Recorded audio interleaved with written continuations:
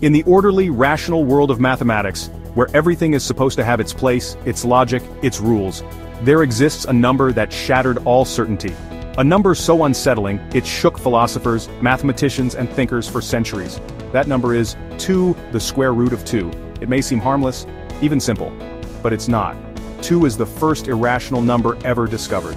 A number that cannot be expressed as a fraction, stretching out into infinity without ever repeating. A mathematical enigma that deeply disturbed the Pythagoreans, an ancient Greek philosophical school that believed everything in the universe could be explained by rational ratios between whole numbers. According to legend it was a disciple of Pythagoras, Hippasus of Metapontum, who discovered 2 while studying the diagonal of a square. But that discovery wasn't celebrated. In fact it was seen as dangerous, even heretical.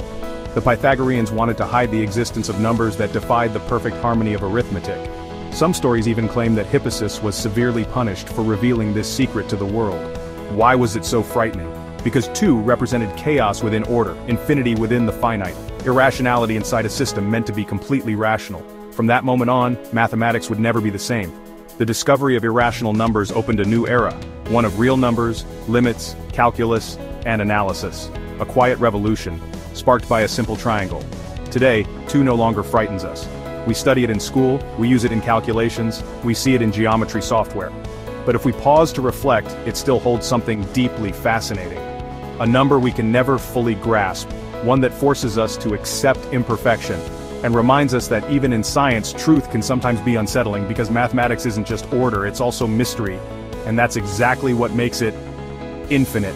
If you enjoyed the video subscribe to the channel and discover more curious and amazing content.